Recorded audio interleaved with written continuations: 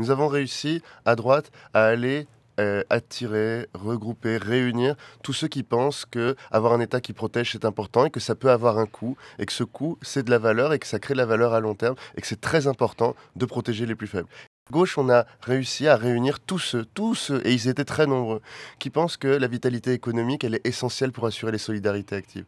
Et bien ça, on a cru pendant longtemps que ces gens-là à droite qui pensaient au social et ces gens-là à gauche qui pensaient que la vitalité économique, c'était important, mhm. étaient une minorité. Nous avons fait la démonstration que parmi ces gens raisonnables, ces révolutionnaires raisonnables, eh bien, on pouvait être une majorité en France. Et c'est ce qui est en train aujourd'hui de, de se passer. Et j'espère que pendant ces législatives, nous serons une majorité absolue.